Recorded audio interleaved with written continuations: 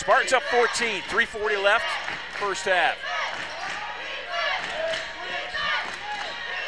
Maz to Kale, Colin Kale!